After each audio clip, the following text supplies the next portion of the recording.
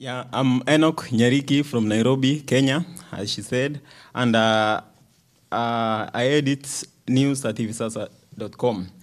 So, hivisasa is um, a combination of two Swahili words, hivi meaning hivi sasa meaning right now. So, we are a news organization that focuses on uh, local news uh, because in Kenya there is a gap.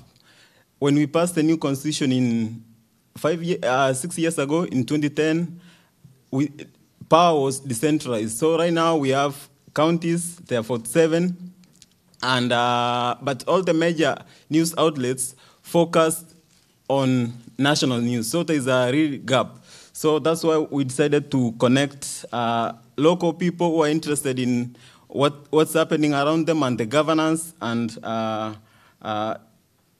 uh, the- news. Okay.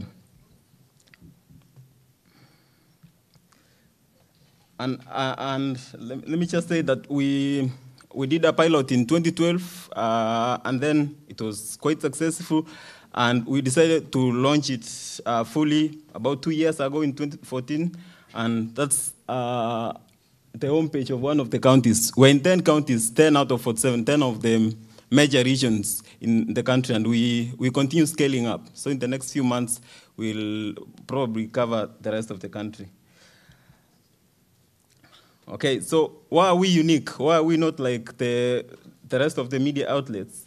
We generate content from the users. We, we allow anyone to write to us, and uh, we, are, we, we also have an online port, uh, page called Visasa Academy where anyone interested in writing news can quickly learn. We have videos, we have uh, text material. You can learn how to submit a, a news story. And um, looking at the, the experience in the past two years, we've really trained a lot of journalists. People are writing to us, uh, submitting news daily, on a daily basis, and um, they're getting published. And once we publish them, we give them a small token or a payment of about 100 Kenya shillings, that's like a, about a dollar, uh, and we do it via um, M-Pesa. You may have heard of it. It's the, one of the leading uh, payment systems in Kenya by Safaricom.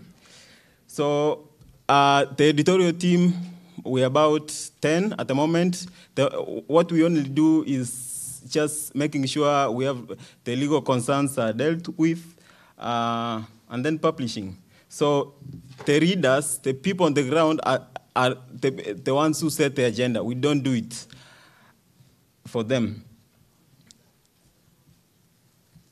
And the site, the site actually works so well because since our target is are the people on the ground, uh, the site uh, works very well on any phone which has uh, uh, which has internet connection. Even the feature law and still in Kenya, although many many people are beginning to use smartphones, we still have those who have feature phones but are very much interested in uh, accessing content online.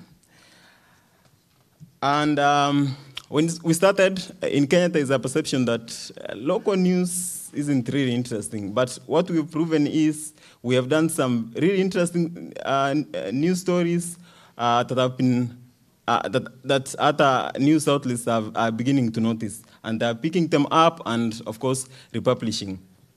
But one of the challenge, big challenges we have, and I think it's all over the country, and like here, is that when someone picks your story, they don't necessarily acknowledge the source. So they just pick it up, republish it, and uh, as if it's their own. But that's just about to change. Um, I, I, saw, I saw one example last week where someone acknowledged they had picked one of the leading stories that went viral that day from our site. So we all hope we're going to um, elections next year. So we hope uh, now that we have governance challenges in the country, uh, especially corruption, putting to task the, the government, the people, have, uh, we hope to offer them a voice, a platform where they can generate conversations about the issues uh, of governance around them, and that can put the, the the, the people in authority on their toes uh, to be accountable on how they use public resources.